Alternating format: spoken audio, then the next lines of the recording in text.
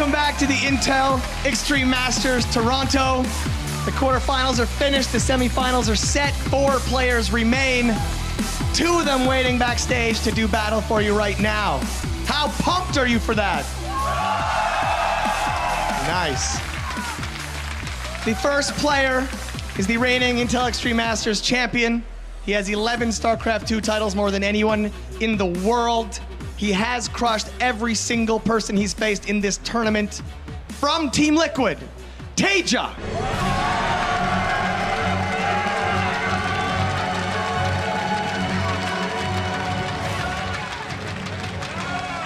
And his opponent, a man who needs no introduction, but I'll give him one anyway. He is the man, the god, the ultimate weapon, and the boyfriend of all of your dreams. KT Rolster Flash!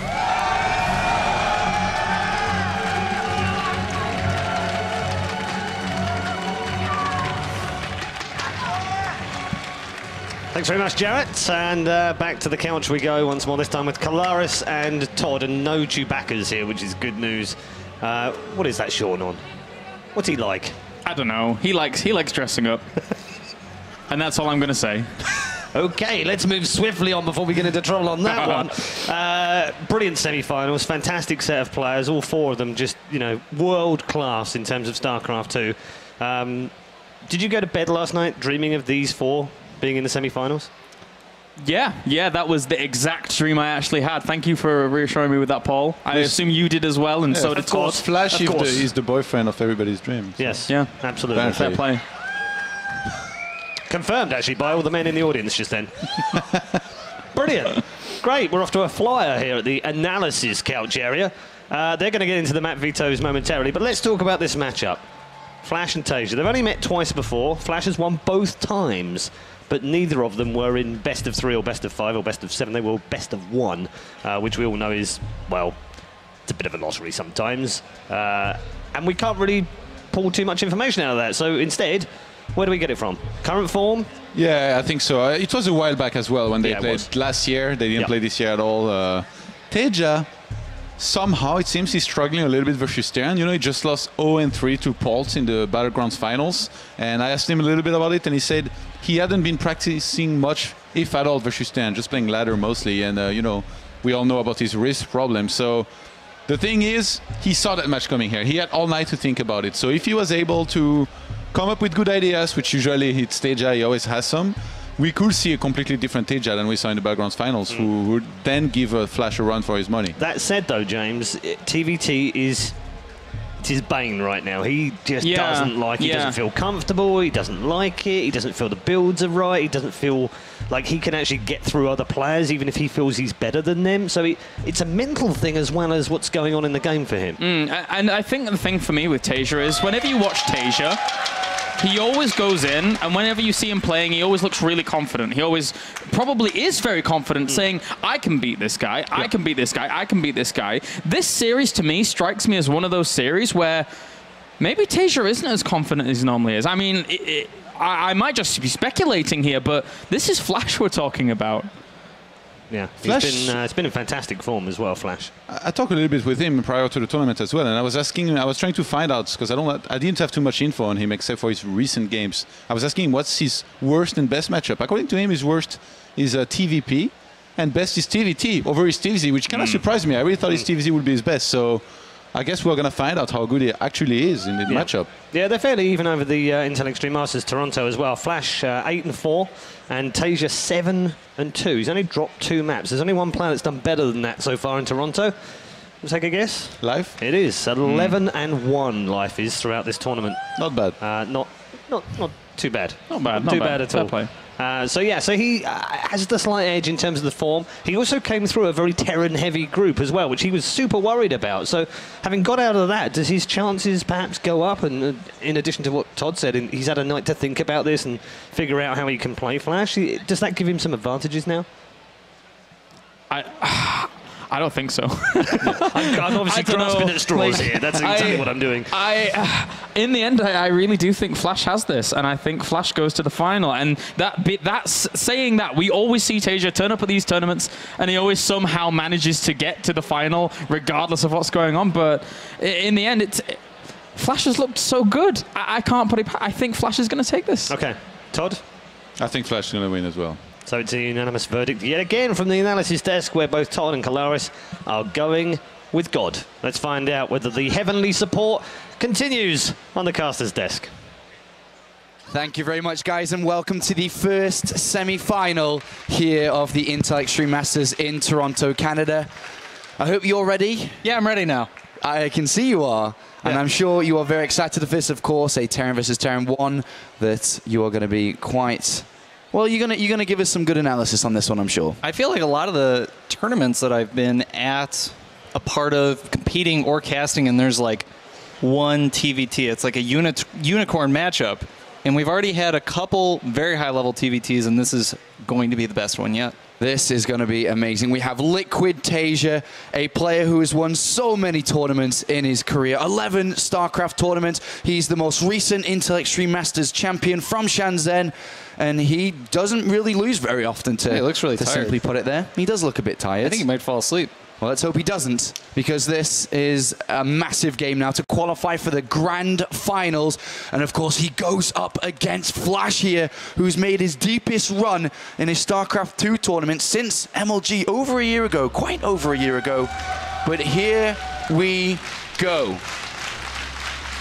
Down here to the bottom right hand side as the red Terran playing for KT Rolster. It's Flash! Wow, the support is palpable. You can feel it in your bones. But there's one other player in this game who also needs your support. Coming from Team Liquid, give it up for Taeja!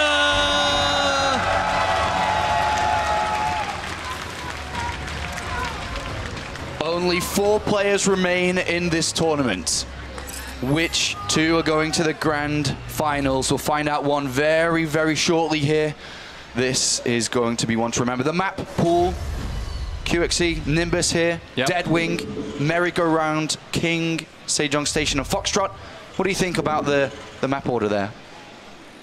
I- It just, That, is it that going was, to play that, out? was, that was too much information for me all at once. is it going to play out Nimbus, aggressive? Is it Deadwing. play- I mean, so Nimbus and Deadwing are four-player maps. They're well, Deadwing's kind of a four-player map, but they have a lot of bases. There's pretty long scouting distances, and usually the bases the bases are all pretty accessible. So we'll likely see pretty heavy macro games coming out here.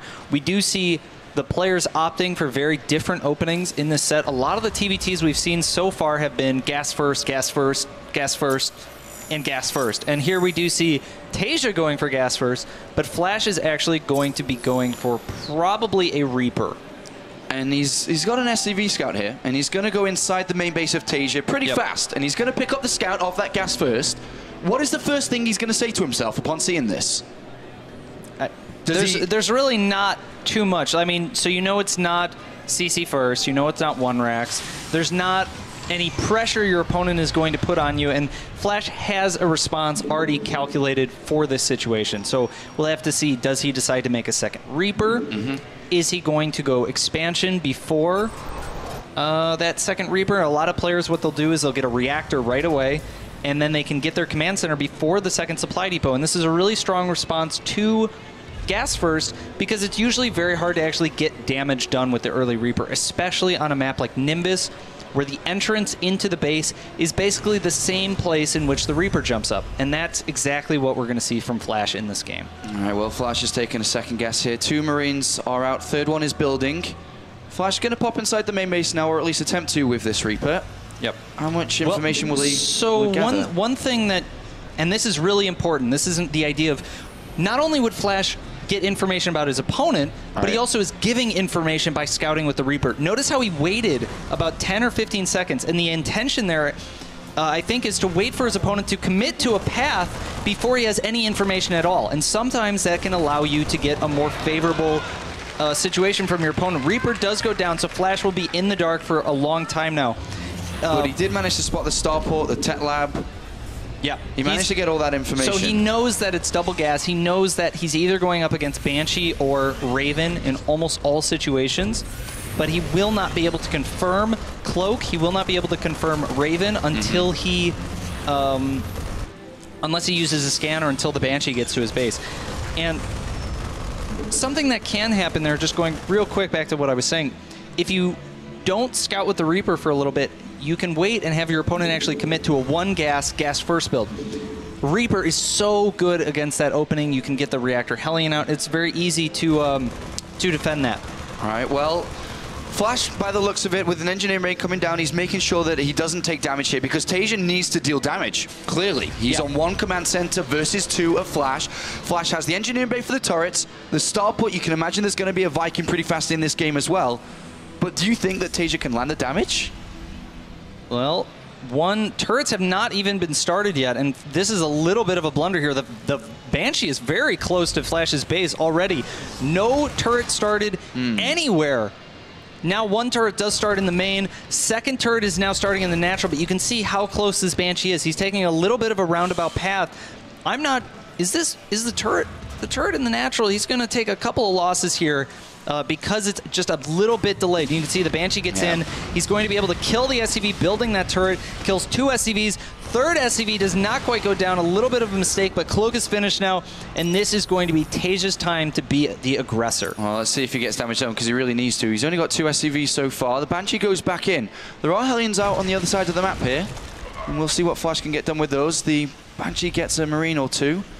But it comes around to the right-hand side there. There is a turret, gives vision range to the Viking. But nothing else from this Banshee. Yeah, the Banshee is getting low enough that he's going to actually send it home. The threat here is if he, you never want to lose a Banshee to one scan. Yeah. If you can help it, unless your opponent has three Vikings, in which case there's not much you can do about that. So he sends the Banshee home. It's running out of energy. Second Banshee comes in, and he's just going to just pick off whatever he can. But the thing is, for Flash, is he's got his Raven out, and that's Raven plus turret. It's going to be very hard for Taeja to actually do any more damage at this point. He's making a Raven of his own, and so we may see him transition into um, some kind of medevac play, or he's actually going to make a Viking. So both players opting for a little bit more of a defensive style. Flash with these early Oh. Hellions is almost certainly going into mech. Yeah, and he's also going to probably go into Hellbats here. The Armory's finished up. He's building two Medivacs currently. Yep. And, you know, Taeja hasn't really dealt a lot of damage here, but a Flash is able to deal damage now with these units. But at the same time, he does have to be careful about any movements out from the Marines, the Banshees, and tanks together, because he is only on Hellions. Yep. This is actually a very interesting set of moves now from both players. How are these going to uh, interact with each other? So the Banshees right now are going to be very hard for Flash to deal with because he's making those two medevacs. The anti-air damage output for Flash is very minimal. If he brings all of his Banshees, and I think he's got he's got two Banshees right now, he can bring those, combine the armies with. Uh-oh. Oh, but it looks like Flash is going to move in. He's going to take this fight right now. Yeah, and he drops the Hellbats right on top of the Marines here, and they're not going to last very long against the heat of the flames. And it looks like Flash is going to slowly push his back, but the Banshees are a problem, Yep. as you identified earlier. he what what Taeja did there is he focus fire down that one Viking, and that basically puts a time limit on these Hellbats now. Flash is not going to let anything escape, and now Taeja's completely on the defensive. He's got to somehow keep as many SCVs alive against these two medevacs. He's got one Viking out. The Raven can drop an auto turret turret in the natural Banshees, and it looks like it looks like Taeja's going to be okay for now. Flash is going to pull back, get that third command center, and continue macroing up. All right, well, the game is going to slow down a little bit now, but we do, or we should see, Mech come from Flash, and then we're going to see Bio come from Taeja here. Yep. Is there an advantage for either side here or because of the map? Do you think that Mech plays out better here or Bio plays out better? So it's the map allows for an extremely easy natural. And I think that much is apparent from what we've seen. The third base is also relatively easy to take. Taking a fourth base on this map is it's one of the hardest fourth bases you can take on any map. And so it just depends. If Flash is just going to take that fast three base max and then push, he's Yeah. not going to have a huge amount of surface area to control. Turrets are very good at keeping out units. Oh, mm, we don't mind. Oh, see ya.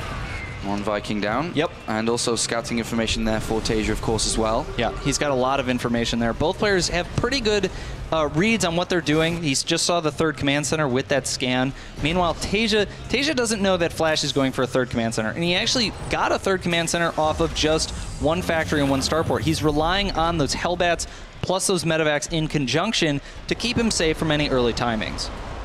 Well, Flash's supply is going to start to really ramp up now with his factories finishing up and his unit production starting. Banshee's still around though. They've Yep. kind of stayed around from the very beginning of the game and can definitely still offer value if you can find an area to go in. But there, there's a decent amount of Vikings here. Yeah, so Taeja has some interesting opportunities here because of. Okay, does Flash have a scan right now? He's got one scan, two scans. He's going to have three scans pretty soon. He wants to make sure if he scans, he can actually kill the Banshee. One Banshee goes down, and that's going to reduce Taeja's firepower pretty significantly.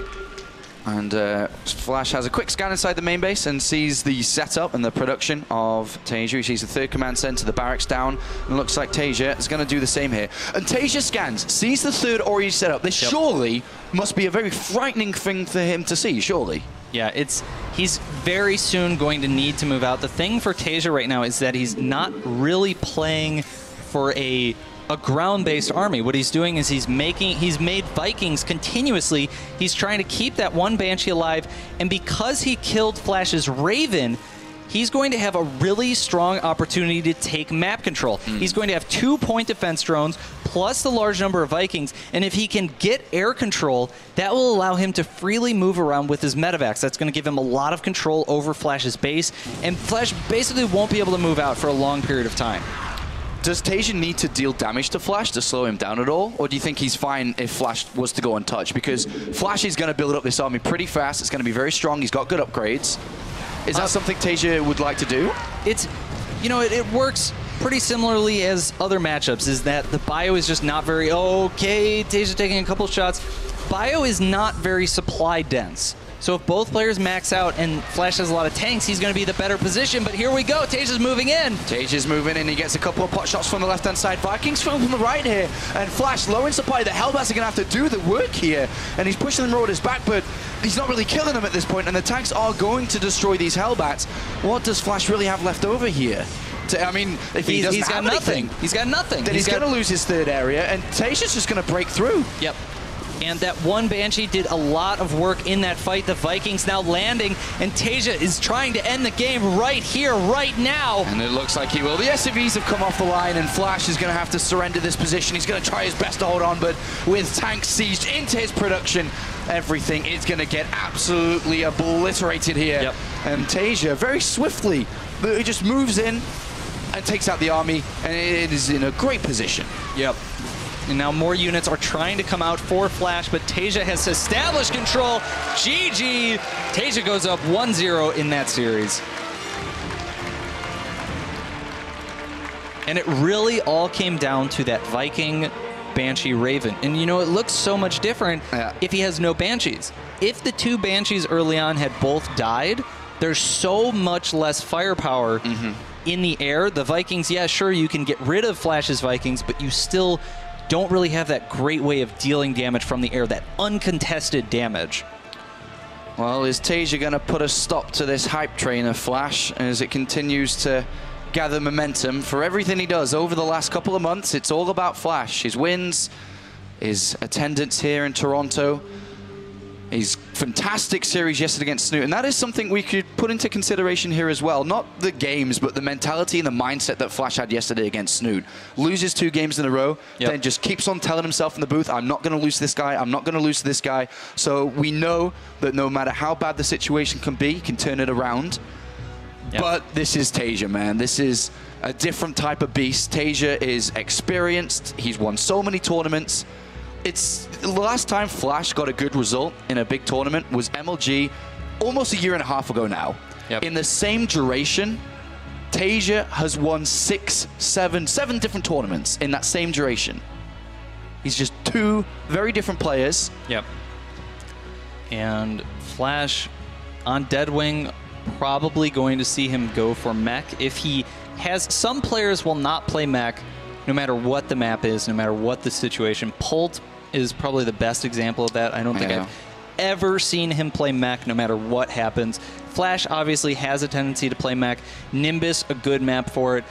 Deadwing, also a really good map. And Deadwing allows for you to take that four bases on a very small condensed area. It makes defending them relatively easy. There's a couple vulnerabilities because of the, the mineral lines being exposed from the low ground.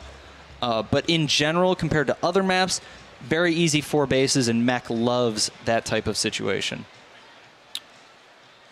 All right, well, we got a bit ready to load into map number two now.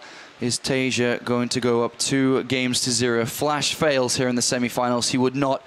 He's going to significantly lower his chances for BlizzCon. He's not going to make it to the Intel Extreme Masters World Championship. Remember, the winner of this guarantees himself a spot there as well.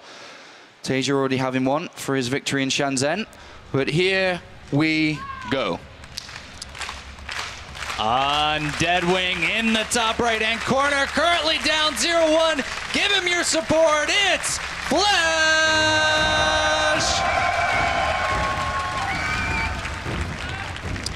And here we go. Tate. Oh, I almost said his name. Keep clapping. Let's go. Up 1 0. Give him your cheers. It's Liquid Taeja. A lot of support here out in Toronto. So many people. I wish we had more chairs. The people are just standing everywhere, clogging the other booths, making it so hard for other people to get around. And I love it. StarCraft, man. That's what we're here for. That's what we're here to do. That's what we're here to watch.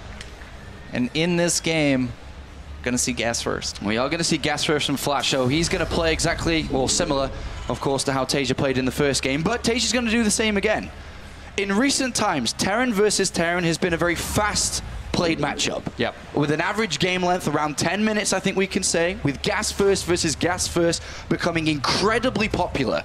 Yep. Why so? Why is this the thing to do? Why is it that Taeja's chosen it twice? Why has Flash decided to go for it now as well? The first thing, the most recent thing that's kind of started this shift, this meta shift in TVT, is the reduction of the cost of cloak. They reduced the cost mm-hmm. from 200 200 to 100 100. That means that it's hard to justify not getting cloak because the Terran anti-air is just not there. It just doesn't exist to deal with banshees. You don't have a unit like the Stalker, which has a lot of health and a, the same range as a banshee. You've got Marines, which without upgrades are falling so easily to those banshees. Thor's not really available early on, and Vikings, yeah, they deal with banshees, but they give you no counterplay. And so, gas first Banshee, rushing to get that Banshee as quickly as possible gives you so much control over the game. Uh, that combined with siege tanks no longer need the siege upgrade, which is a long time change. And then the medevac boost, there's just so many advantages for the aggressor in TVT. And all of Terran's early aggressive units that don't require upgrades are all tech units. Factory for the Hellions and the Siege Tank, Starport for the Banshee, the Medevac, and the best responses to Banshee are also tech units. Vikings, Ravens, all that type of thing. It all is kind of gearing TVT into a way that's super aggressive, very fast paced, and is often gas first.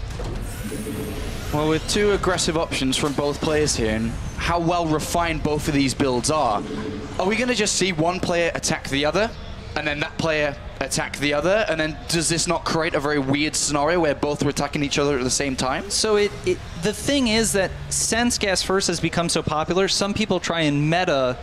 You know, they, they think, okay, my opponent's going gas first, so I'm going to do something that specifically counters what I think he's going to do. Oh, the Reaper's going to jump up. Is Flash going to notice that he needs to get out? Is that Reaper going to die? The Reaper goes down! Flash is completely in the dark. The two Marines, I mean, it could be a lot of builds. Yeah. He really doesn't know anything from that. Well, likewise can be said for, for Taeja on Flash, though. That Reaper, you don't really know when and Yeah. how it was built, right? That still could have been just a regular Reaper opening, but couldn't find where Taeja was. So, Right. So it could have been a delayed Reaper Scout from Flash. And this Hellion, though, will tell him everything. And you can see Taeja's Hellion is actually out. Taeja getting the first shot off, so that if these guys continue to duel, Taeja's Hellion is going to win. But Flash is bringing a second Hellion in. Oh. Boom! Flash now with the advantage in Hellions. He's going to probably just run this one up into the base. Sees the Marines. He knows he can't go any further. At this point, both players should have a good read. They're both going gas first. And you can see Flash is going for the early Viking. This is to, to catch the Banshee. And then he's getting a Raven behind it. Meanwhile, Taeja is actually trying to do that damage. And he's making a second Banshee.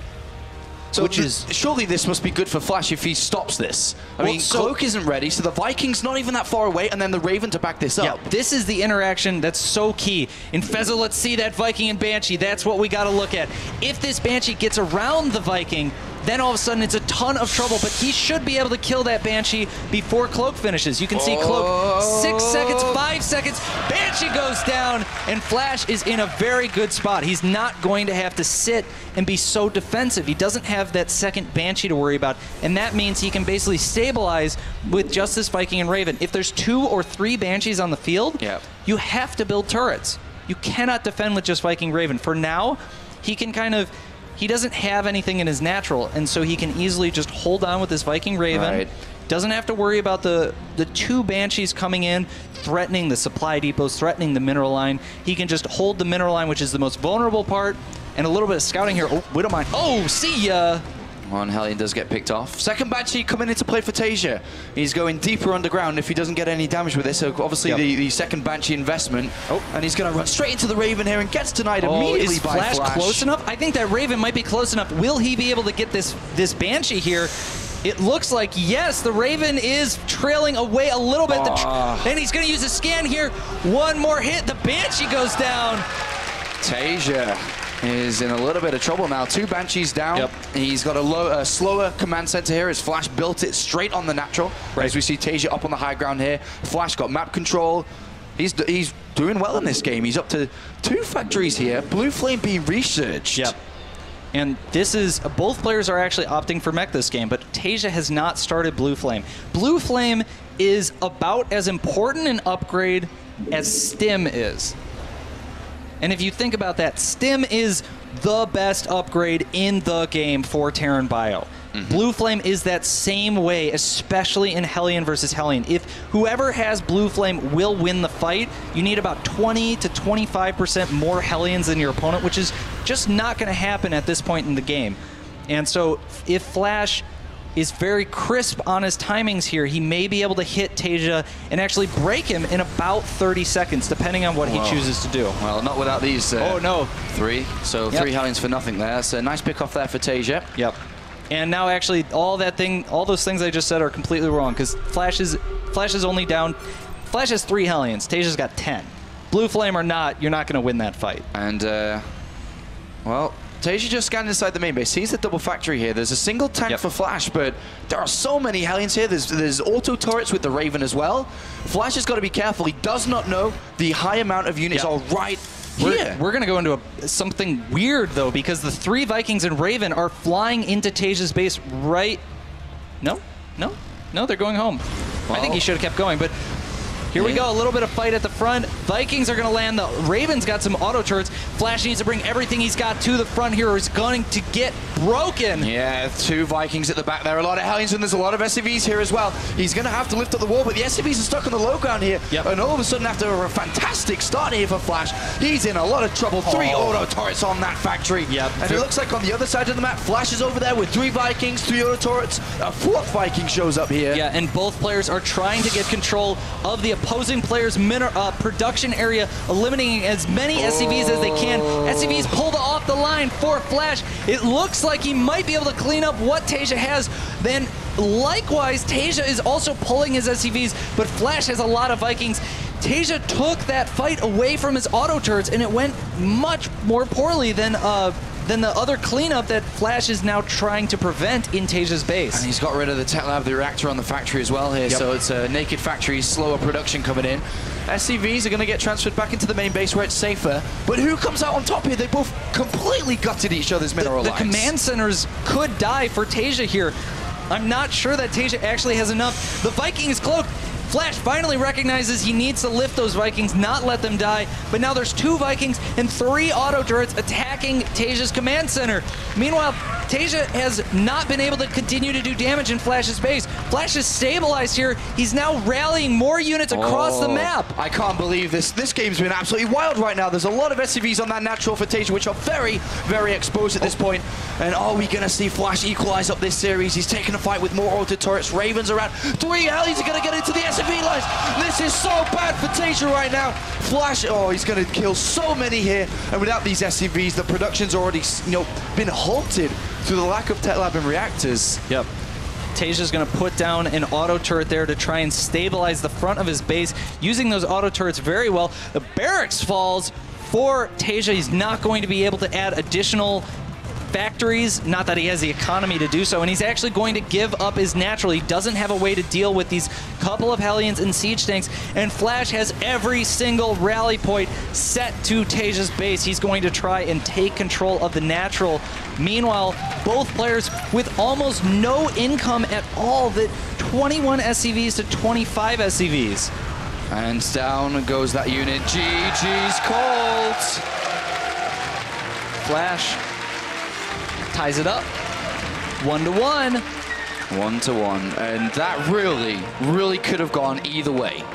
It was Yeah. a fight where small mistakes were the biggest of mistakes there. So the the the biggest mistake I think the reason the main reason that Taeja lost that base trade was he took the fight away from his auto turrets. There were three auto turrets that both players put down. Taeja was very patient with his. He waited until he was actually in Flash's base. He knew he wanted to get on top of the production, but then he moved away from the auto turrets and took the fight without their support. Meanwhile, Flash constantly, he was always at his auto turrets, and they provide so much support. Auto turrets, 150 health, mm. one armor, I think. Probably. We're gonna say it's true they're they're it's like two or three marines kind of worth of health and damage and all these things and uh yeah flash just had the the better instant reaction to what was going on and i think uh maybe part of that is flash's knowledge of what was going to happen was superior to Taeja's. So if you Yeah. think back to that moment when Taeja is moving up Flash's ramp to his third, Taeja does not know that Flash has those Vikings and Ravens right outside his base. Whereas Flash knows that Taeja is attacking him and that he has opportunities for a counterattack. And that allowed Flash to be just a little bit more in the moment, a little bit more responsive, and a little bit more precise in how that base trade played out. Well, going into game number three now. Let's find out who's going to take this third map who's going to gain the lead now. The player who gets this next one would be on match point. Is it Flash who's going to continue his miracle run in the last couple of months here? Or is it Liquid Taeja who's just going to pick up another championship, pick up another tournament as he's done so many times prior to this?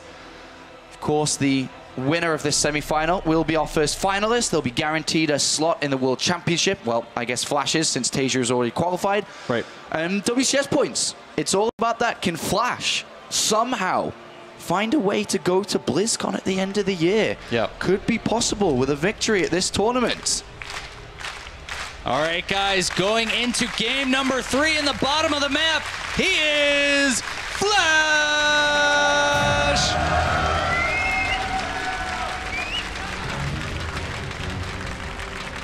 And in the top right hand corner, the blue Terran. He seems unstoppable all the time, but here can he be beaten? He is Liquid Taeja!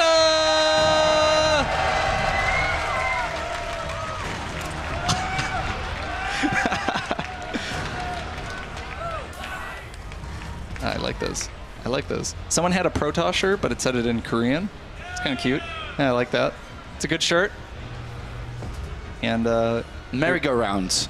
QXC. Yep. Three-player map, small-ish. if, if if you thought, you know, we were talking about TVT being aggressive, this is The staple aggressive the map. most aggressive map out of any map in the pool right now for TVT. And both players opted for gas first again here. Yep. Do you think that Flash goes for the same Reaper? It was a single Marine into the Reaper, which actually you know, was attempted to get him information on what Right. was going for. Is that something that he would want to do every time he opens like this? It's as far as I know, and I might be wrong, is that build is the Flash guess first. Okay. That's the first time that I've seen him do it. Not at this tournament, but watching Flash play, he was the first player that I saw do that. I think that's his way. It's kind of like Taeja builds one Hellion and uses it to scout. Flash builds one Reaper, and it makes it makes a lot of sense when you're opting for the transition into Raven Viking. Mm-hmm. Often the threat is if you don't build Marines early, you can't defend the first Banshee and the Reaper cuts into your Marine count. Right. But if you're going straight into Raven then Viking, you don't really need a lot Yeah. of Marines to defend that first Banshee. Well, we'll follow that to see if Flash is going to do it. No SCV scouts from either side here, so neither of them are going to get any information on the other player. And Taeja, not going to get any at all. But He's going to go Reaper. yeah, Yeah. yeah, Yep. yeah, Yep. yeah. Yep. Okay. Told you. It's because if he built a Marine, he would have been supply blocked. That's why I thought it was. Anyway, doesn't matter. Both players opening with uh, uh, So- Taeja's actually going one gas right now. Flash had a good start last game, and he didn't get the Reaper in. Right. If he gets the Reaper in, how good is that for him? Is that is that just the best thing in the world? Is Well, so the thing is that whether or not he got the Reaper in last game, I don't think it would have changed what he did because he already was opting mm-hmm. for the safe build against a Gas First Banshee. The Reaper is really more important in general in establishing where is my opponent spawning and are they doing some kind of early expand where maybe if I go Raven Viking, I'm actually behind Uh-huh. because I'm not doing any damage at all, and their expansion is much earlier than mine. As far as if you were to blindly pick two builds and match them against each other, Flash's build was superior.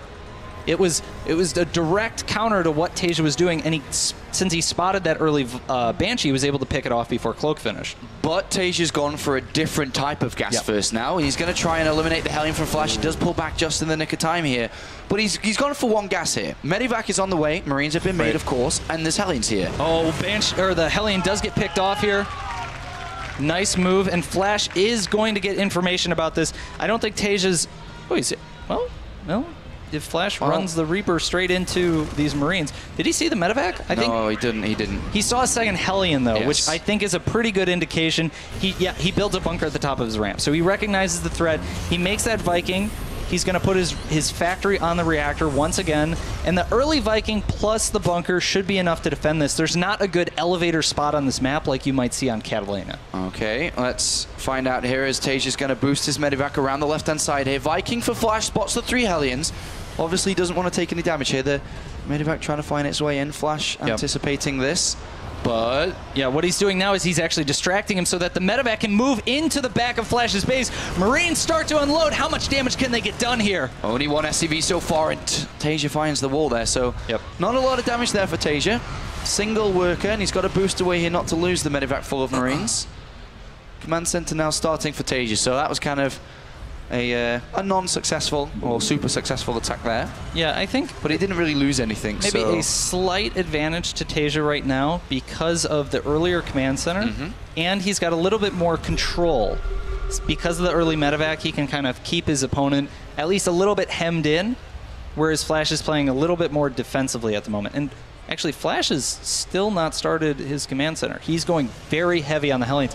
Flash has opportunities here for actually a, a Hellion timing. What, what he might do is when he gets three Vikings, move out on the map and try and and try and bust Yeah. uh, Taeja. Well, I mean, what does Taeja need to do to defend that? I mean, he's getting two Vikings right now in a tank. Is that enough? Just two Vikings in a tank? do you the- think he needs more? The tank supported by some Hellions should be fine. The real difficulty is the positioning of the units. If, for example, the Vikings and the Raven fly into Taeja's main, drop three auto turrets, and Taeja pulls his army back, then these units at the top of the ramp won't be there, Mm-hmm. and, and Flash will be able to run right in and get the position that he wants. Well, I guess we'll have to follow that. But Flash is going to play mech here. Second factory has started, if you didn't quite notice that. Yep. And Blue Flame, Hellion production, I would imagine, would be following very, very shortly here. But Taeja hasn't really got a lot of information on Flash. I mean, he, the last time he checked what Flash was doing was with a scan, but he didn't really see the unit count. He didn't see Right. the follow-ups. But now he's moving down. Four Vikings tracking the Medivac. Yep. He's going to have a scout, and he sees the Hellions. So what he's doing here is he's using the medivac to try and bait out the Vikings. Notice how he's keeping his Vikings farther away. So what he doesn't want Flash to know there are Vikings. He anticipates the moving of the Vikings, and now Taeja's going to move in and try and take this engagement. But the point defense drone is just too strong. Two Vikings die, and uh, now the Raven obviously has no energy. There's no point defense drone left, but he's got to wait for these two additional Vikings, and Taeja may. Oh, well, Flash spots it now. So Flash has to be pretty careful with these Vikings, waiting until the two more get out. And Taeja's going to go on a hunt. If he can, he desperately wants to kill that Raven. Well, these Vikings are not going to pop out together here, so this is actually quite problematic. Yeah. And actually, if Taeja stays on top of that starport, he Taeja's chasing down the uh, the Raven here, and he's going to get it. well, he's buffered. Well- he's pulled back a little bit because of that auto turret. And Okay. the Vikings are starting to get rallied kind of in, in obscure places so that Taeja isn't able to easily hunt them down. Meanwhile, Taeja going for two additional barracks. He started Stim, and he's continuing to make siege tanks. And he's still got those Hellions on the map, so he's going to try and establish some degree of map control. But this is going to allow Flash to regroup his Vikings. Whatever threat there was is kind of gone at this point. Both players have a similar number of Vikings, and it'll be hard for Taeja, even though he's got six to Flash's four, to actually get across the map and force that battle.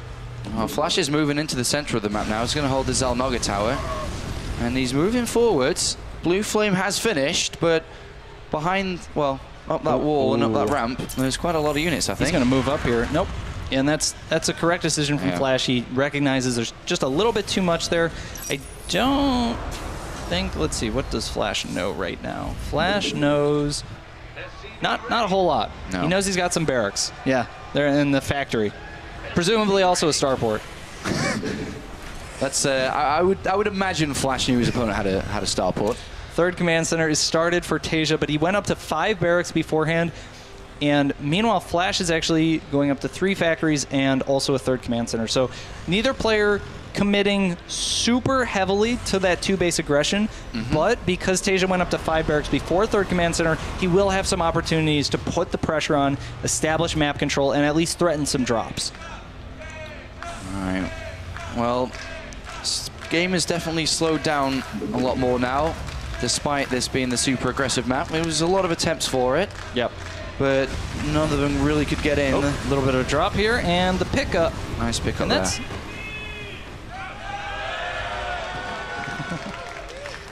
And the Vikings, six Vikings landed in Taeja's main. They're just kind of hanging out there.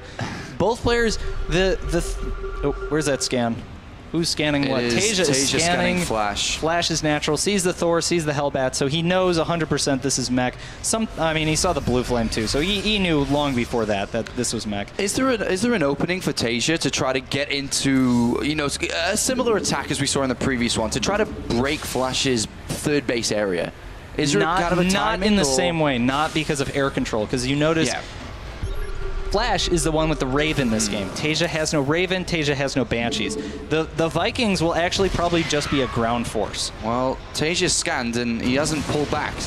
Yeah, may he- this fight. I think what he's going to do is try and pressure the natural now. He sees the siege tanks are out of position. He's going to move in here, trying to take a fight. But how well is he going to actually do it? There's a lot of Vikings, there's a lot of Hellbats here. One tank on the left-hand side is dealing out a lot of damage, and Flash pushes that back with ease. Yep. And now Flash sitting at a comfortable 30 Yeah. supply advantage. Taeja is just trying to jockey for position. He wants to siege his tanks in range of something important, but this is he's he's really out on a limb here. He's got no medivacs, he's got no air control, and that's going to allow uh, Flash to kind of push up his his tanks and siege out his sieger if Taeja stays. Taeja smartly decides to fall back. He's going to take his third command center and transition into uh, some more bio, some more medevacs until before he actually moves out again. Correct me if I'm wrong, but I feel a little bit worried for Taeja here. Flash is sitting back, he's got a lead in this game, he's building up, and the bases on a map like this are not that far away from each other. Yep. When Flash gets this army ready to go, which isn't going to be that far away, he's going to move out. And is Taeja going to be able to stop it? Does he need to think about counterattacks, maybe runarounds, drops? in a direct engagement, Flash is going to win. Yeah, for sure. And So how does how does Taeja, you know, resolve that problem? it's if you imagine it's kind of like Terran versus Protoss, where you expect the bio player to have a slight supply advantage. If the meching player has a supply advantage, you expect the, that player to have a significant advantage in the game. And it's really not about taking that head-on engagement once, once both players max out. Taeja has opportunities for aggression when he's ahead in supply as a bio player, but because he's behind in supply, basically what he's going to have to do is always go for the counterattacks. He has to keep threatening Flash until he can at least catch up in supply, and then what he wants is for Flash to move out and then for him to be able to move in and get some damage done. Well, Flash has secured his main and natural, per se, with all these turrets. He does not Yep. want to get dropped in. He's really pushing it into a direct engagement. When they meet, Flash wants to meet in the middle, army versus army. Yep. Taeja's got a force on the left. He's also got a force on the right-hand side with some units in the middle too, but Flash is ready. Plus two attack is almost done. He's getting a couple of more units so he can go up to 200 supply, and he's going to make a move. Now, if Taeja wants to go two games up in this series, now is the time to figure out how to not fight this army. Yeah, he absolutely wants to go around it, even if it means going into a very chaotic base trade. He will lose the direct engagement. There is just no way for him Uh, to, to deal with Flash that. is on top of it. Yeah. Both of them on top of scans. He's, he's scanned to the left-hand side. He knows exactly where Taeja's army is. And if Taeja's getting caught out of position here, Oh yeah, if Flash is able to actually collapse on this army and force this engagement, Taeja needs to just keep running. He needs to actually go all the way up into that base, and Flash is trying to take the fight here. The Medivac's moving in. And he drops all the Hellbats on top of this. It wasn't the best of Hellbat drops there. I don't think he got too many of the units. Yep. But right now, Taeja's coming south. Does Flash have enough outside his third base to make sure he doesn't lose to a weird counterattack? Looks like Taeja is going to back off tanks. In position there. Yep. And Flash just looking for one of these armies. But Taeja's caught up in supply. He's up to 200 almost himself. The Marine kills the SCV, building the command a bullet center. to the head, QXC. and there was much rejoicing. Now Taeja controlling the center of the map, and Flash, Flash is in a little bit of an awkward spot because he knows there's that army on the left side, but at the same time there's that army in the middle. Does Taeja like what he sees? He scans and sees only four Yeah. tanks. He's going to move south here. If he breaks this position, This is it. Flash is incredibly out of position. Taeja's army is looking quite big. He's using his siege tank there. He wants to keep that army hemmed in for as long as possible. Everything else is coming back, though, to defend. Flash is going to pull some SCVs. He's got to buy time. He's got to get his units here. He's dropping his supply. His main army is so slow. It's trying to get back here. He doesn't have the medivacs full of units. Taeja is going to deal damage on the natural. Vikings are going to fly away. They're not there in numbers, but oh, Flash comes in to intercept it. And a massive drop by Flash on top of these Marauders. And he gets rid of almost half of them there. And he will clean up every single one of them. Beautiful defense there by Flash. Oh, and Taeja actually trying to push down the ramp. It looks like he took some losses, but he's actually going to establish control there. Turrets go down, all those siege tanks fall, and now Flash is still in a supply advantage. But at the end but- of the day, Taeja did avoid that main fight. Yep. And he was able to reset the siege tank count in a lot of ways. Siege tanks are kind of like the Colossus and High Templar of this matchup. Anytime the meching player is able to get a huge number of siege tanks, you know that you can't take that head-on engagement, uh-huh. all else being equal. So as much as possible, you want to trade your bio for those tanks. And that's exactly what Taeja did. He bought himself more time before that Doom push can come from Flash. In order to push, Flash basically needs enough siege tanks to win the head-on engagement, but also enough siege tanks to not go into a ridiculous base trade scenario. Oh, Medivac full of Hellbats does go down. Taeja with some very nice army control right now. You can see his positioning, his ability to establish control of the map is so good at the moment. I'm getting uh, quite excited for this series And now. you're not even sitting down anymore. I'm not. I'm not sitting properly at all. Took off your shoes. I don't know when that I, happened. I always take off my shoes. Ah, okay.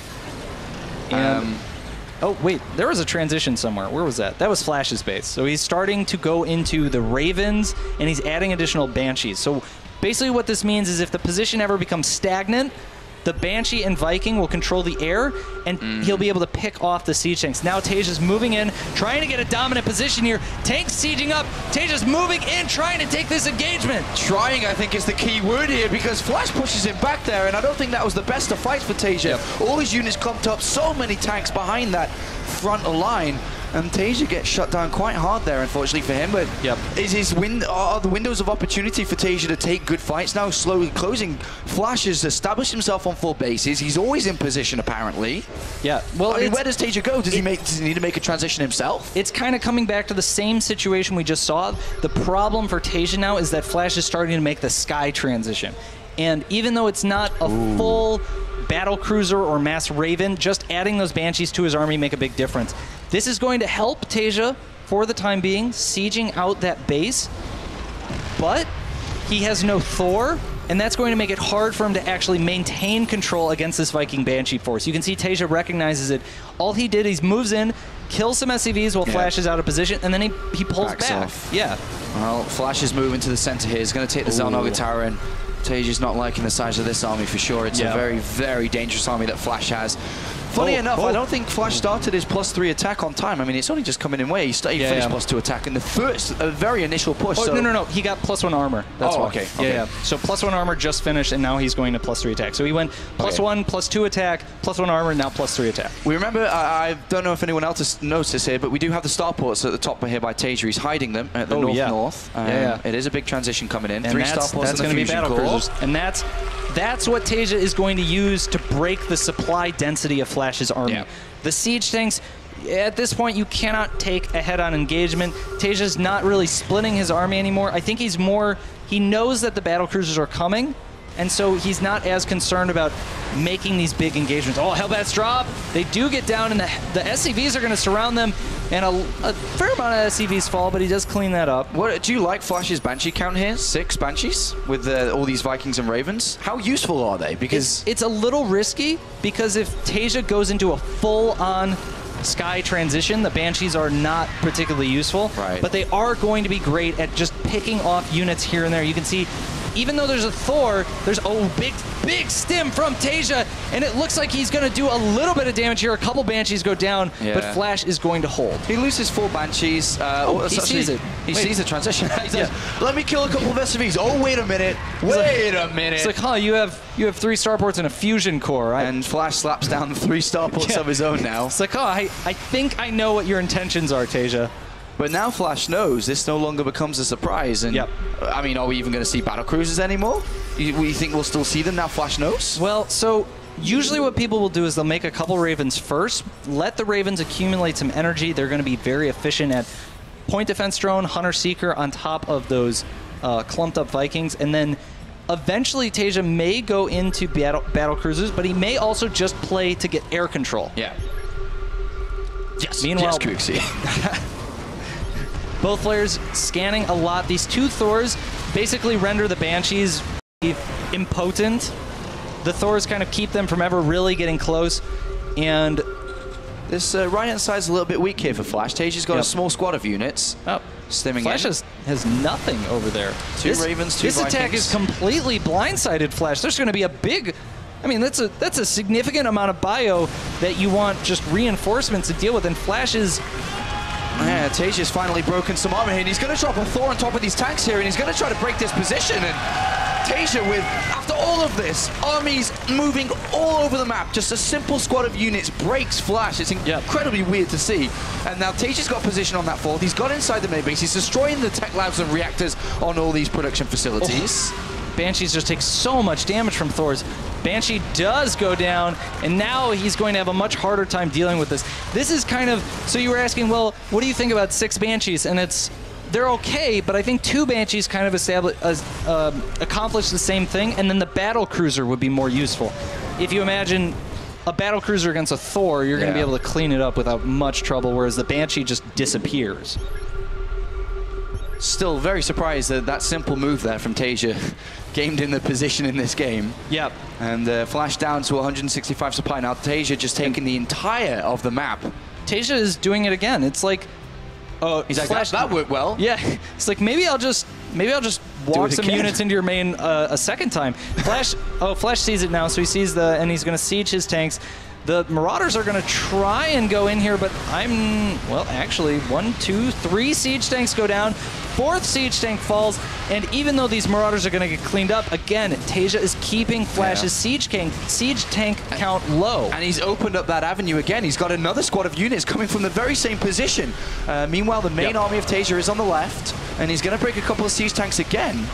And it's, it's, this is so weird because you think like, this is the kind of style and the kind of moves you need to make if you're really sticking to bio. Taeja's got a full sky transition behind this, and Flash just does not seem to be able to establish constant, stable control of his bases. Every time he moves out to take another base, his position weakens just a little bit more. He doesn't really have the things at home that he needs to stabilize. Well, he's going to use a Raven point, uh, I mean, seeking missile, sorry. Boom! Nice split off there from Taeja. Yep, doesn't lose that much. And just continuing to kill the add-ons here. Siege tanks are just so bad in small numbers. You can see, you know, two Marauders kill a siege tank. That's not the kind of trade that you need. What what Flash really needs right now is either a walled-off set of uh, siege tanks at that natural or a planetary fortress there. And that nice. Two tanks down. Yep. Okay. This squad's not going to do as well as the previous ones, the- unfortunately. The, Thors are are monstrous, and killing the Thors is nice, but they're really for how much health they have, they're not that much gas. So while this is all going on, we have Taeja's fleet being made here. One it's- battle cruiser with these Vikings and Ravens. But it's- does it's- Flash have uh, the the numbers himself? Well, let's take a look at what Flash has. So, 18 Vikings for Flash, 17 for Taeja. Okay, Nine yeah. Ravens for Flash, six for Taeja. We're going to see some explosions soon, QXC. Yeah, there's going to be a lot of Hunter Seekers, and the Ravens for Taeja have a bit more energy than the Ravens for Flash, I think. Yeah, because Flash has been using some of that energy to actually defend these pushes. Um, where's Taeja going now? Yeah, I was actually I just wondering that. I think, I think. So instead of doing those run bys with the small Bioforce, He's going to do it with his ships. yeah. He's like, all right, defend two places at once. Uh, one of the places is Viking Raven Battle Cruiser. And the other one's still the Bioforce on the other side. Still the Bioforce. And what what Flash really needs is to just drop a couple point defense drones and siege tanks on the left side while bringing his, his fleet back to defend the right side. But Flash's Air Force here is doing all right for themselves. oh, he's actually going in. He's going to bunch of Hunter Seekers drop. He's going to try and clean up. How many Hunter Seekers do go down? None go down. All the medivacs get cleaned up. But What is Flash, this game? I mean, you got one army in the, on the left-hand side, then Taeja's on the right here. It's a sky base trade. It is a sky base rail. Don't really see this very often. What one thing that would help Flash a lot right now would be a big group of Widow Mines. Oh, It's a- yeah. It's a very nice, Yeah. uh, relatively low cost way to deal with that pretty slow Skyforce. Once you get that upgrade, you can kind of burrow underneath the Vikings, and your each Widow Mine kills a Viking, guaranteed. And a couple of Widow Mines hitting on top of each Uh-oh. other with the Viking splash, and that's good damage for you. Taeja's coming around here, but his Ravens aren't that close to his Vikings here. Flash turns around. Well, actually, now Taeja knows and spots this. Oh. And I think Oh, uh-oh, QXC. Here we go. This is going to be the fight. This is going to decide the game right here. A lot of point defense drones go down. Flash doesn't want to take it. He's backing off. He doesn't want to take this here. Yep. And a couple Hunter Seekers go down on the Ravens. Taeja needs to split those Ravens up. Point defense drones don't save you, but only two Ravens do fall. And now Flash. Whoa.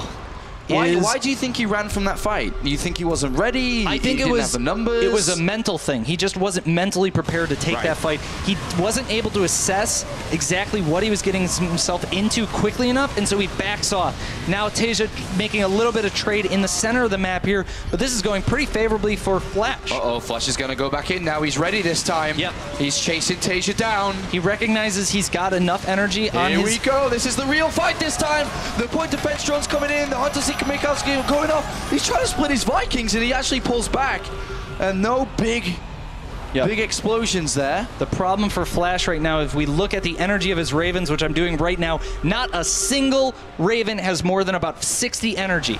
Let's talk about the money a little bit. Do you think that's a big problem here for Flash? He just doesn't really have much. As long as no fight happens, he'll be fine. He's got five base economy. There's tons of minerals, but here's a big engagement for Taeja. He's moving in. The Vikings all land.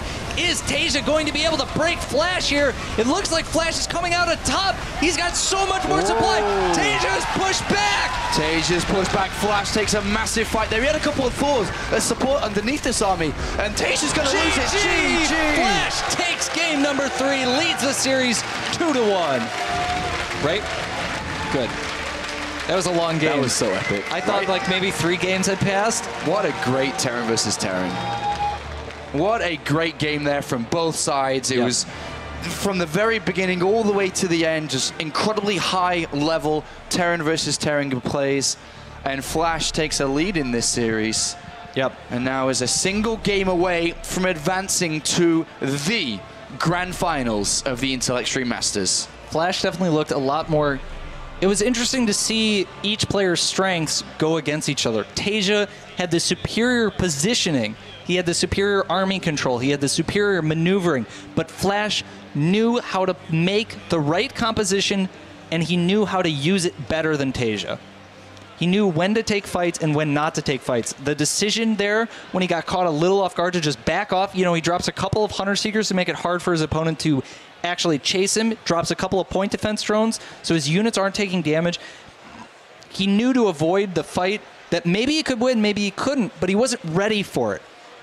And then when Taeja actually came into the center there, Flash had everything every single unit he had was pretty much at that fight, and Bio's just not going to win that. So when you're Taeja and you lose a game like this, it's not really something you can, you know, there are so many different things that could have gone better throughout the entire of the game. It was a long game. Do you think that Taeja says, okay, I can maybe just step it up a level and do the same again? Or do you think he says to himself, okay, let me try in a different way, something earlier, something aggressive to try to find the victory? Yeah, I think the the biggest situation that Taeja wants to avoid right now is Bio versus Mech endgame. And this is something that I've been talking about a little bit over the course of the weekend is when you find yourself in a situation where your opponent seems to be at an advantage, especially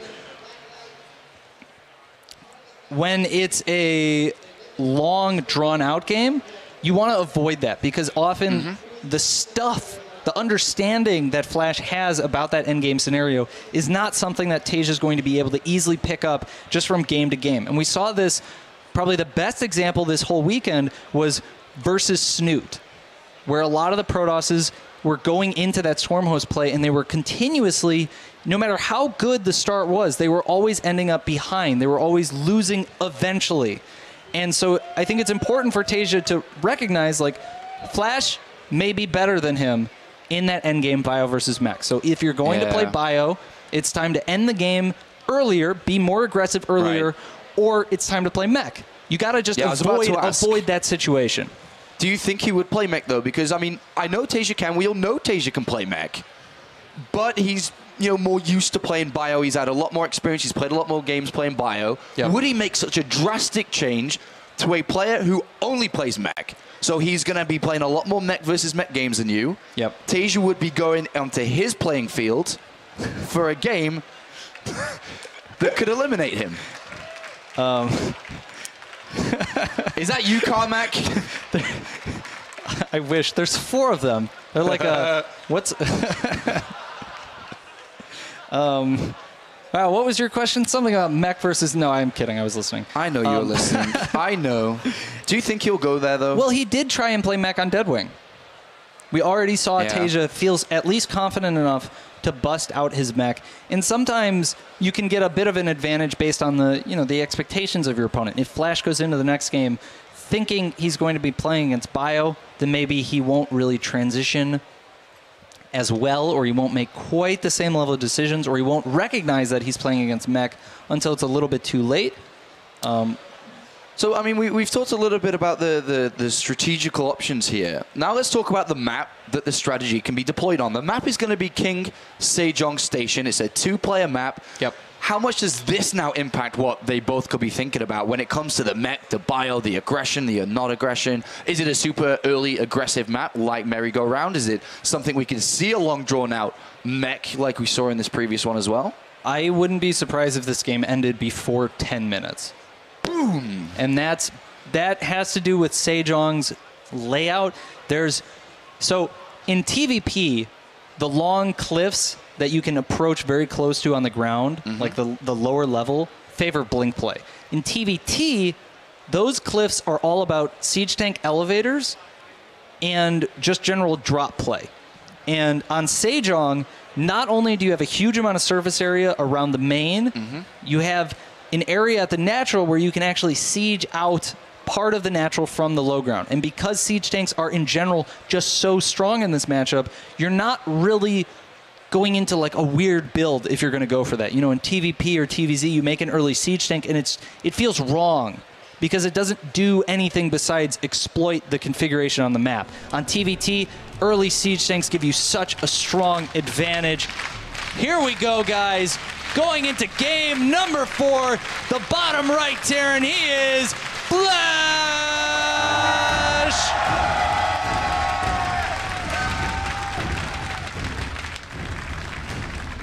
One of the best players in StarCraft 2 in all of history. He won the last IEM, but he needs your support. Give it up for Liquid Taeja!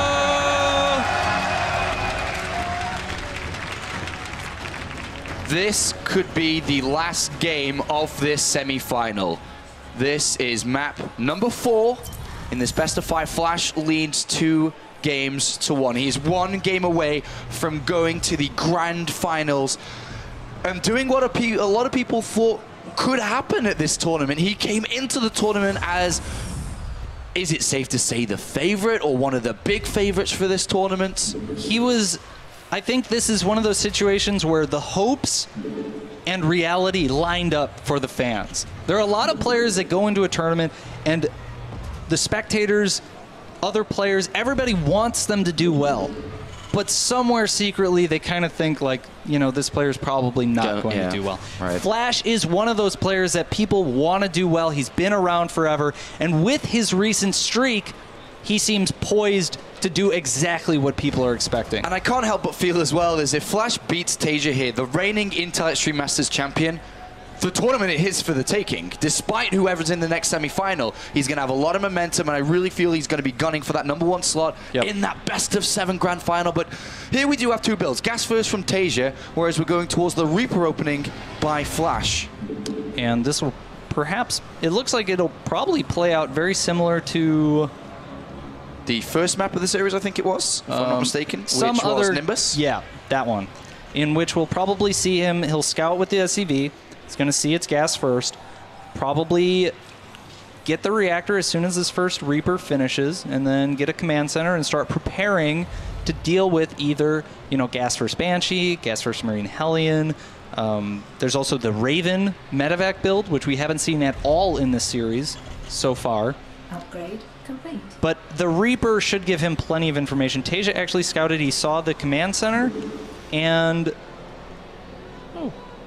Uh, he's going to catch that SCV. yeah, I'm pretty sure that SCV is going to die. I would bet a lot of money that this SCV will die. Wow, I'm right. You're rich! that, that fool took that bet. Why would he do that? I saw someone raise their hand. Like, QXC, I'll bet with you. Take my money. All right, And- so double gas here by Taeja, not Yeah. the single gas version. So he's got the tech lab down on that factory. His Flash drinks water. He can do anything while he plays StarCraft. I saw that. And uh, Taeja now has his Marines He's, stationed. he's got the water in his mouth still. yes, see, it's there.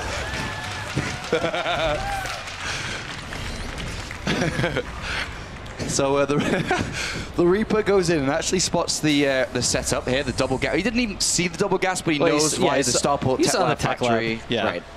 And so what he's going to try and do is come back into the Reaper. He wants to see is it going to be Reaper or is it going to be Banshee?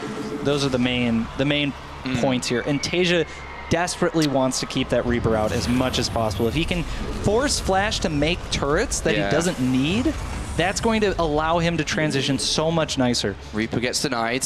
It is Raven, yeah of course. Um, Flash can't get in there at the moment. Every time the Reaper gets denied, you know, there's like this 20 or 30 seconds where you know the Reaper can't come back in. And then once that time has passed, it's time to get ready for it again. And is Taeja ready? Oh, Oh, the slips Reaper in. slips by. And he's, he's well, he doesn't see He cloak. sees, he started Yeah. cloak. Taeja just started cloak. Yeah, And he's going to cancel it as soon as the Reaper leaves. So Flash thinks it's going to be Banshee because there's there's no indication that it's anything else. Yeah, and turret start, Viking started, but it is a fake out here. And a really good move from Taeja. It's Yeah. it's you could almost say that Taeja let the Reaper in on purpose. No. I'm not saying he did, but you know, it's it's that type of move. It's like why not let the Reaper in? Let him see the cloak that I literally just started. All Thank right. you for building three turrets, Flash. All right, well, Flash going to be going over for a He's Raven doing of the his build. own here. He's doing the he's doing the build. The, medivac build. build. The medivac build. The medivac builds? Did you watch uh, Bunny versus Taeja? Uh, no. Okay, well, it's a build where you go gas first, you make a Raven. As soon as the Raven finishes, you make a medivac. As soon as that medivac finishes, you make a second medivac. And you go with a Raven, two medivacs, two siege tanks, and eight Marines. You Okay. pick somewhere in your opponent's base, you drop everything, drop all your auto turrets, and you Uh-huh. win the game.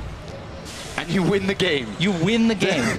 that is literally The how the, strategy ends with you win the game. that's the final part of the build. You Okay. win the game. All right, well, let's see if he does, because then he's going to the grand finals. So, Wait, no, no, no, no. That, that's Taeja's build. oh, Taeja's build. We'd, so we'd go to a, fifth To game. the fifth game. Which I think everyone would want. uh, who wouldn't want the fifth game? Yeah. Who wouldn't want the Everyone fifth wants game? the fifth game.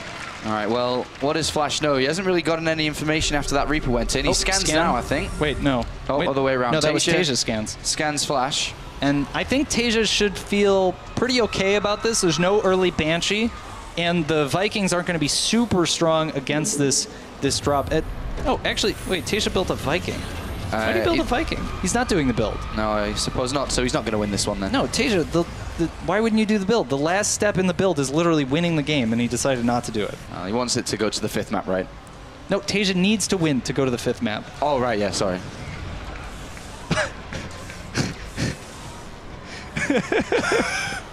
I'm sorry, QXC. All right, all I right. like to play with you. Okay, so what I think. Oh, he actually. Flash already broke down the rocks. And that's, I think that's Taeja's destination here. Is he builds, he builds the early Viking and the early medivac. Okay, so the intent here is the medivacs are going to support him. Flash has a lot of Hellbats, so he's going to go out and meet this. Taeja needs to be ready. He cannot walk into this trap. Flash is actually pulling SCVs now. He can drop auto turrets. Needs to put down all the auto turrets right now. Taeja, put the auto turrets down. The Marines are getting roasted. And Yeah, it looks is- like Flash is just going to clean that up. no problem. Easy there. He did take a lot of losses, but Yep. the opportunity that presents itself currently for Flash is the final. He is going over there with his army. Does Taeja even have enough to defend? Flash sacrificed a few SCVs, but now he's moving over. Yep. Does Taeja have enough? Because if he doesn't, this is going to end. Taeja needs to get some SCVs to repair that bunker. this Cannot is let that bunker this is a lot of Hellbats. He does not have a strong enough ground force to actually fight it. Where are the SCVs, Taeja? You gotta get on that bunker. Uh-oh. That's the place to hold. All right, well, the bunker's Ooh. going to go down immediately here. He doesn't care about saving it, and Flash goes in. The FVs get pulled way too late there, Yep. and Flash walks into the natural, and the Hellbats are going to do a lot of damage. He can even pick up some and drop them on this bio here, and Taeja's in a bit of trouble here. He needs to stabilize. He needs to survive. And Taeja's hopes at winning this IEM seem to be quickly Uh-oh. fading. The Hellbats killing all of the SCVs in the main. The Vikings are able to clean up Flash's Vikings, but how can he kill these Hellbats? Two Marauders here, but so many losses for Oh my God, already. This is unbelievable. Taeja's dropping so fast with his SCV count. Is Flash going to make it to the grand finals? He's killed 22 workers with this attack. It was so beautiful of a defense into the counter, and Taeja is in so much trouble. It's 26 SCVs for Taeja, 41 for Flash, Yeah, while what- this counter was going on, was 10 behind. Now he's 20 ahead. Whatever damage he did with that initial attack has more than been made up for by Flash. He is sitting in a dominant po- position right now. Taeja desperately trying to get back into this game. Neither player really has a lot of army at the moment, but Flash, with those 14 extra workers over Taeja, is going to be able to get much more units in the next coming minutes. Wow, this is absolutely incredible right now. Flash has been in this position many a time in this tournament where he's Yep. taken a massive lead and he just knows how to finish it off too. He doesn't rush it, he doesn't make mistakes, he builds up and he knows that the time when he moves out, he will win. Is he going to be able to do the same here? He's going to more, well, He's going to put more damage onto Taeja. He's got a medivac full of Hellbats. He's Yep. looking at the natural.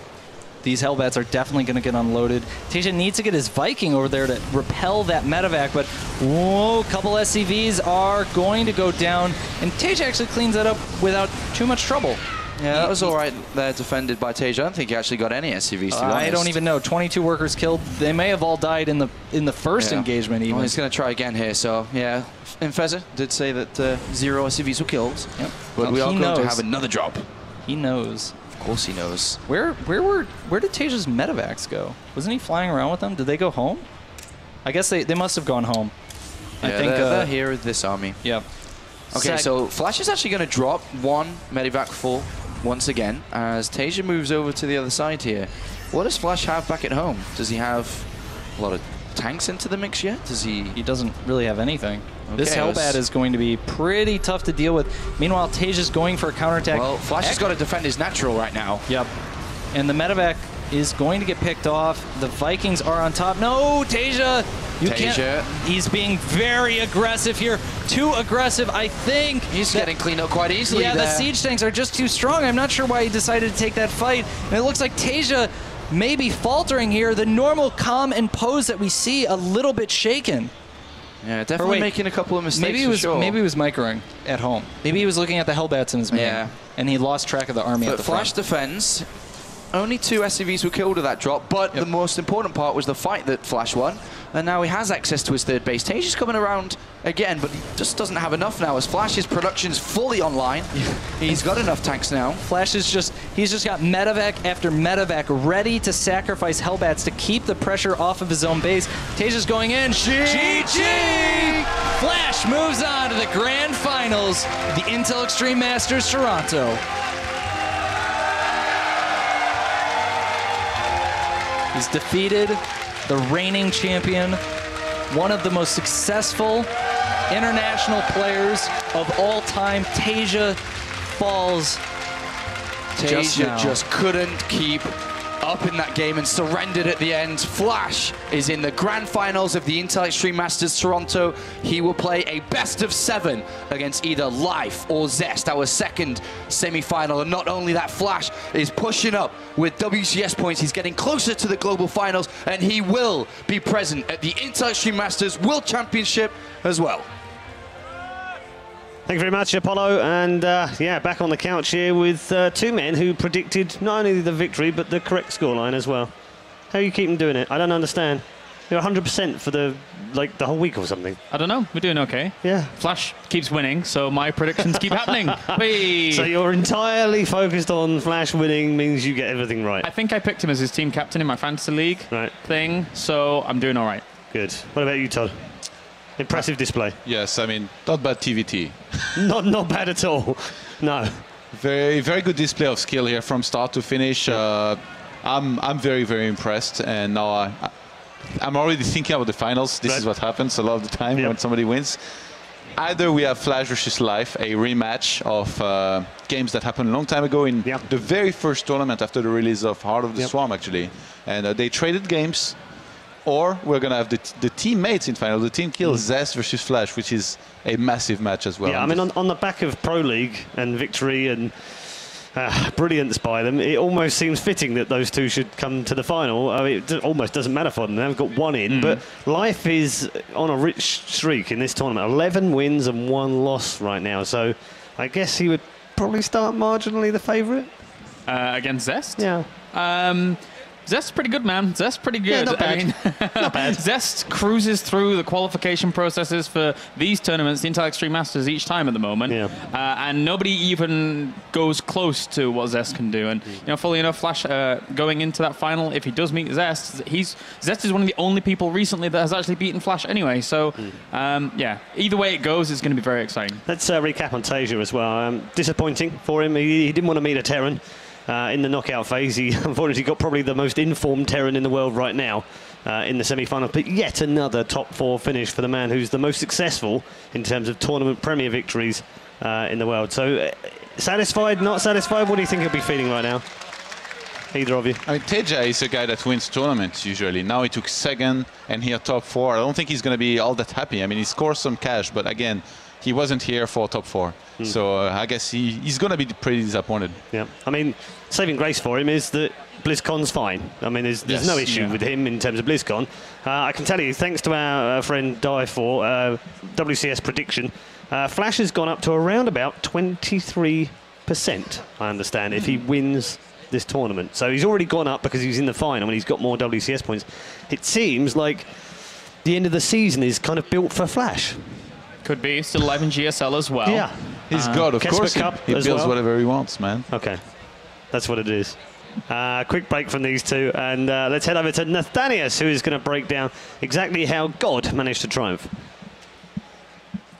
Thanks, guys. Uh, of course, we were trying. I was trying to look at the games, was which which part would be the best to discuss, and we were just looking at the merry-go-round game. There were a lot of cool things that happened in it, but the, there's just so many awesome moments from this series as a Terran being able to watch. So on the merry-go-round game, we saw uh, just a lot of back and forth movements. One of the most difficult things when you're playing uh the dual composition of Bio versus Mech, it's all about the positioning. Flash had a really good defensive setup, and Taeja didn't have too many opportunities to actually break into his base. So we see uh, one of the largest fights before they make the air transition, while all those upgrades are coming in. He uses the way that the map is spread out to try to get a good posture on this. But Flash, in something that we don't see terribly often out of mech players, puts a, a surprising number of Banshees in his army composition because Taeja, who normally you'd say Marauders are very good versus siege tanks, and having tanks of your own are also useful. They, they don't have that quite that anti-air, so the Banshees get a lot of extra utility. And I, I did like how Taeja slowly trickled out, traded away his army, builds the Ravens, and hides them. But it, it really was just so, there's so many beautiful moves between the two of them because they neither one of them could actually get caught off guard by the other's tech switches or plays. And Taeja, the later the game went, he was still tenacious about getting in with the harass. There's just so many cool little plays. Uh, the Seekers on the, on the small clumps of bio, the Thor drop on the siege tanks by the third base was also a really nice play. Uh, and it, it seemed like he was going to be able to lock down the economy, but man, I, I really don't have too many more words for this series. It was just awesome action all the way throughout, and I think we're we're in treat for uh, for an awesome final moving forward. That that's really all I got. I could talk about this. I could almost just recast the entire game because that's how excited I was being able to watch these guys play. Yeah, let's uh, let's hear from the man himself. Thanks very much, Nathanias. Yeah, an overexcited Terran there. Uh, and another overexcited Terran joins us on the couch right now. Flash, congratulations. Another fabulous victory and into the grand final. Talk, talk to us about the match because there were many, Nathan said it just now, there were many small things, small differences between you and Tasia. How would you summarize your victory over him? 자 일단 결승전 진출하신 거 축하하고요 영호 선수 그리고 방금 윤영서 선수랑 경기했었을 때 이제 살짝 플레이 스타일이나 그리고 흔히 대회에서 보지 못하는 이런 작은 것들이 많이 있었는데 마이크로적인 면 그리고 조합적인 면에서 그런 이제 선택의 계기와 그리고 어떤 그런 게 이제 어떻게 어떻게 돼서 경기가 진행이 이렇게 풀렸다고 생각하시는지 설명 좀 해주세요. 일단 태, 어, 태태전 같은 경우에는 워낙에 자신이 있어서 예, 후반에 유닛 조합이나 뭐 이런 거에 있어서 어, 연습을 통해서 이제 얻은 결과라고 생각하고 예, 제가 생각하는 조합이 태태전 조합이 예, 반까마귀를 많이 뽑는 건데 예, 그래서 윤영 선수보다 후반 운영에 좀 더 제가 강해서 예, 이긴 것 같아요. I'm very confident in my TVT. Uh, in terms of macro, especially when it comes to TVT macros, I believe it's all about the composition, and I strongly believe in Ravens in TVTs. I think we saw that. So yeah, so I was pumping a lot of Ravens out, and I think my macro was a lot godlier than the Taeja's. Godlier Macro. Heard it here first. Uh, okay, so let's let's talk about your teammate because your teammate earlier on said he didn't really care if you got to the final or not. Do you care if he does? 아까 주성우 선수랑 인터뷰를 했을 때 음. 반대편에서 누가 올라왔으면 좋겠냐 윤영서 선수나 이영호 선수 누가 더 까다롭고 누가 올랐으면 좋겠냐 일단 아, 상관이 없는데 그래서 그럼 지금 팀 팀원이 준결승에서 떨어져도 신경을 안 쓴단 말이냐 이랬더만은 아 뭐 그런 얘기는 딱히 아닌데 하고 얼버무리고 넘어갔었거든요 어떻게 생각하세요? 어, 예, 그럴 수 있다고 생각하고 아무래도 지금은 어, 개인 리그다 보니까 예, 예, 그럴 수 있다고 생각해요. 예. There is no I in team, so I um I I can see how Zest could have said that in the in the interview in the previous one. and um, it is an individual match. Yeah. There's I in individual match. Okay, all right, fair enough. So, uh, Flash not too worried about who he plays, I guess, in the next one. I- If it's life in the final, and you guys have a bit of history, is that going to make it more fun for you or harder? 일, 어, 8강이었나요? 장윤철 선수랑 경기를 했을 때도 이제 잘 이기지 못했던 상대를 이겼고 이번에 프로리그 할 때 원희사 선수도 그랬었고 이승현 선수한테도 전적을 보니까 그렇게 좋지가 않았어요. 그럼 오히려 이승현 선수가 올라와서 복수전을 펼치는 방향으로 가는 게 더 마음이 편할지 아니면 주성 선수를 만나는 게 더 기분이 좋을지 아, 예. 아무래도 마음은 이승현 선수가 올라오는 게좀 더 편하지 않나 싶어요. 왜냐면 팀원끼리 이렇게 결승에서 만나다 보면 즐거운 마음도 있지만 좀 진 상대가 좀 슬퍼할 수도 있어서 예, 그러 마음 같아서는 할겸 그러고 싶은데 성우이가 올라와도 팀이니까 예, 좋을 것 같아요. 이번 예선할 때도 주성욱 선수 1위, 이영호 선수 2위 아니었나요? 예, 그렇게 올라왔어요. 제가 져가지고. 팀이어서 내가 네. 한 봐줬다. 아 그런 건 아니고 예, 뭐 그런 건 아니에요. Um, I, over the past couple months, um, I've been hacking away at Parting for all his smash talks on me on MC, and also it would be interesting if Life comes up to the finals. If I beat him, and it kind of wraps whole story and the rivalry up. But having a teammate, there's pros and cons. Um, you're a little more comfortable playing against your teammate, but also if you beat him or if I lose, one of us is going to be sad, and we live together, so it's it's a heartbreaking situation. And uh, what I add? And I also added that well, you've actually lost to Zest in the qualifiers. Is that because it was your teammate and you you let him walk by so that you know because because you were that comfortable? And he says, well, that's not really it. But Zest and I, we don't have that sort of a rivalry going on in the individual leagues. All right. Well, congratulations on winning on the semi-final for the first time ever, ladies and gentlemen. Flash is in the Intel Extreme Masters Toronto Grand Final. We'll find out after the break who plays him. Will it be his teammate Zest or the man who is on fire? 11 and 1 right now from Life.